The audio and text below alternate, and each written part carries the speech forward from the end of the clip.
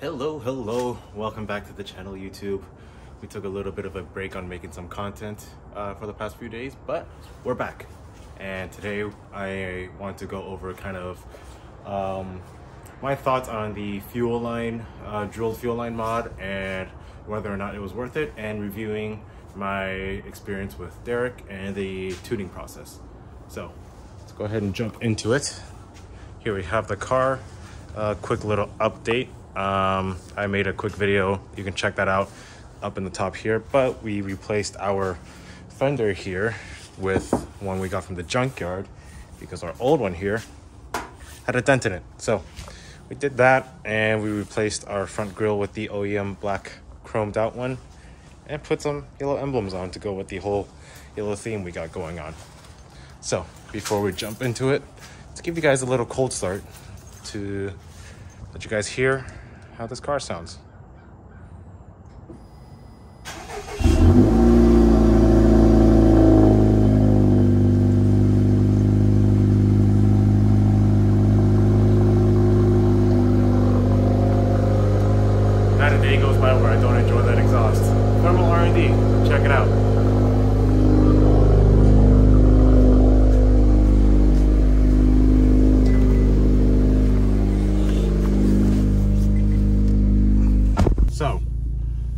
Let's talk about this fuel pipe mod.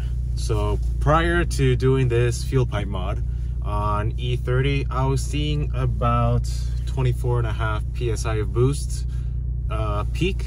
Um, so about 24 flat throughout. And now afterwards on E30, I am seeing about 25 and a half. So about a one and a half PSI increase in boost.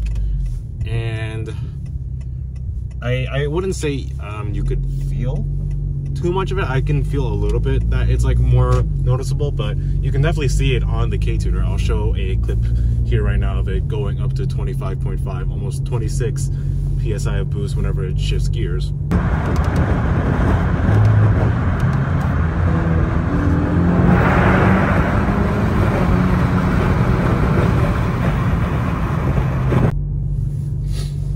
And here is where I am going to say it is worth it depending on your situation. Um, so I did this. Uh, I'm gonna explain why I did this fuel line mod. Um, but all right, so I kind of want to go over why I did this whole uh, drilled fuel line mod after I did my Type R turbo. Um, because you really should do this when you do your turbo upgrade and just get it all tuned at once instead of going through a revision tune. But uh, long story short, I had to replace my feed line because it was kinked.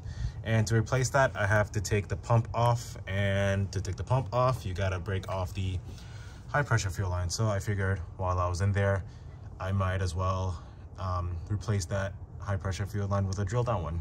So that's kind of why I did all that. You really should, um, in my opinion, do that line um, with your turbo upgrade so that when you get to your tune, you can tune for that line right away instead of going through what I did and doing a revision. So let's jump into the tuning process and how that was like.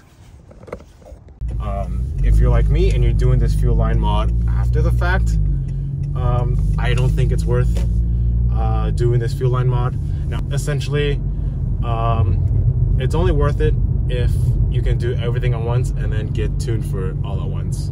Because I had to pay another um, 300 I'll, I'll, put the actual number here, but essentially another $300 for a revision tune um, because I had a major uh, modification change. Another caveat on 93 octane, you don't see an increase in boost pressure. It's only on E30 that you're gonna see the benefits. So keep that in mind as well. If you're running only 93 where you're at and you don't have access to flex fuel, it's not really worth doing this mod. Now, let's jump into the tuning process. So, as you guys know, I am tuned by Derek Robinson over at IMW Tuned. And for this revision, uh, we did uh, remote e-tuning. I am originally dyno tuned on this car, but I didn't feel the need to have to drive back just to get a revision done Um, so I opted for the remote tuning option. And I'm gonna essentially to summarize the tuning process, I got five revisions total. Um, no, I'm sorry. I got six revisions total um, before we called it good and everything's finalized. And these six revisions spanned over the course of four to five weeks. And this is the standard tuning process, not the expedited one. If you do the expedited one, you might cut that window shorter, but essentially what it came down to was I got a revision, um, one or two revisions every week. And the process of that tuning is as follows. For the first revision, we had a um, cold start to operating temperature log and a 15 minute stop and go traffic log, 15 minute highway cruising log, and a log from fourth gear in, from 2000 RPM all the way to red line. After that first revision, you'll only need to do the stop and go, cruising, and the fourth gear pull logs. So pretty, pretty simple process of sending the logs over to him. You know, you, it takes an hour total maybe to, to get those logs. So just kind of do them, you know, when you're out about doing your things.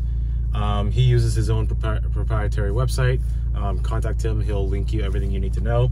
And he is very quick with responding to any questions and um, very nice about the entire process. You know, if you have any questions for him, he's not going to call you dumb or anything for asking that question. He'll explain everything you need to know. So overall, uh, 10 out of 10 um, experience with him. And I highly recommend um, getting dyno tuned if you can, of course. But you know his remote e-tuning process is a very good alternative. You're not gonna you're not gonna be leaving too much on the table from not getting dyno tuned. Now let's go over the process on how to get your data logs and pull them off your K-tuner. All right, let's talk data logging. So this process is going to apply to the V2 K-Tuners, but when we get over to the computer section, it'll apply there too. I'll walk you guys through how to do that for your 1.2s. But for your V2s, uh, you can do your onboard data logging on this device here and then pull the logs off your laptop or computer after the fact. So what you're gonna wanna do is when you press the screen here, you'll see here, hit that button, start log. And the way you can tell that it is logging is with that blinking red light there. Once you're done doing your log that you need to do, whether it's that fourth gear pull or that 15 minute stop and go, go ahead and hit that stop log button. And now we'll hop over to the computer where we'll plug the device in and open the K-Tuner software and show you guys how to pull the logs off of this device here and save it to your computer and upload it for your tuner to look at. Okay, so now that you have your uh, onboard logs captured on the K-Tuner V2. You're gonna go to your computer and plug in your K-Tuner. You're gonna see on the bottom left here, right now it says disconnected, we're not plugged in. As soon as it's plugged in, you'll hear the audio play from Windows saying that a device is connected, and you'll see this turn to green. Uh, that denotes that it is plugged in and K-Tuner rec recognizes it. So, this portion here is going to be for the K-Tuner V2s. After you have completed your onboard data logging, uh, you'll want to pull the file off of the K-Tuner V2. To do that, you're going to go to this top row here, and on the third section here, fourth icon, you're going to click on this, and it's going to open the data logs that are stored on your K-Tuner V2.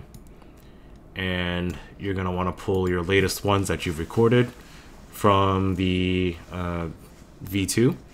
And to do that, you're gonna hit download and you're gonna see a progress here that denotes how long it's taken to download. The 15 minute ones are gonna take longer, uh, probably about two minutes, but um, once you see that complete, it'll go back to the green logging and you can close this. And if you wanna double check which log you've pulled, you can hit this play icon here and you can tell uh, by the parameters which ones you pulled. So this one was my idle log. You could see it's uh, vehicle speed is zero. I'm not moving, so this was me idling. And if you want to take a look for everything yourself, you can do that in here as well and view all the parameters. Um, but once you've pulled that and you've confirmed this is the right log, you're going to want to export this data log and save it so that you can uh, send it to your tuner. You're going to go ahead and come back to this third column here, and then on the second icon, it's going to say save data log. And here is where you'll want to save it to whatever folder you want. So let's go to um, documents here. We'll create a folder that says ktuner logs. We'll save it here. We'll give it a title. We'll say it's the idle log. And you want to make sure you're saving it as a .kdlg, .dlg, or .tlg file. You're going to hit save, and it's going to save there. And then email that log over to your tuner. Now, if you have the V1.2s, um, you'll still want to come over to the KTuner screen. You're going to plug in your KTuner 1.2 into your laptop and into the OBD module and to log while you're in the car, you're just going to go ahead and hit this record icon here and it's going to say recording down here. It's going to take whatever it needs to do. And then once you're done, hit the record icon again and then you can play it. Um, I'm not connected to the car right now, but you can play it to double check that it captured it. And then you can do the same process as saving it. Um, hit this save, save it to whatever folder you need to do, and send that off to your, your tuner. So hopefully you found this portion helpful. Okay, realize I never closed out the video, but if you found the review of my fuel pipe and the uh, logging experience with Derek to be helpful, be sure to hit that like and subscribe button and follow my social media, um, specifically my Instagram page at Q underscore media. And as a little sneak peek for the next video, or not the next video, but one of the two videos, we've got 265 40 tires that are about to go on the wheels that I showed you a couple videos ago. Stay tuned for that. All right, I'll catch you guys in the next one. Peace.